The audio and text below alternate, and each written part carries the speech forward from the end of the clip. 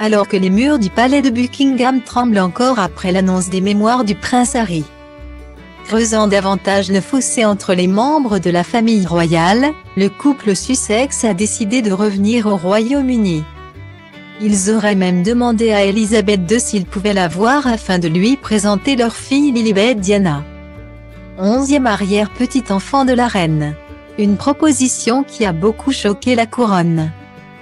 Pour faire d'une pierre deux coups, Meghan Markle et Harry ont également décidé d'organiser le baptême royal de leur enfant par la même occasion.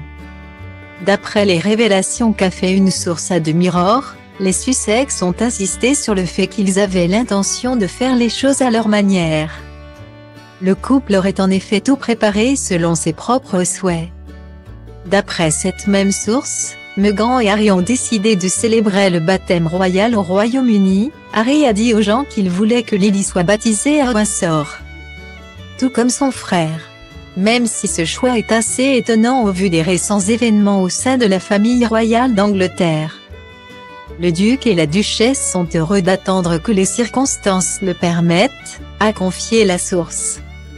Aucun détail n'a été dévoilé pour le moment concernant le baptême royal de la petite Lilibet Diana dont nous ne connaissons toujours pas le visage. Si cela se déroule comme celui de son frère aîné Archie, il y a de fortes chances pour qu'il n'y ait que très peu d'invités. Comme la dernière fois, la presse ne sera certainement pas invitée. Une question subsiste cependant, la reine d'Angleterre viendra-t-elle? Ce serait une façon de se réconcilier avec les Sussex mais pour le moment, rien n'est sûr.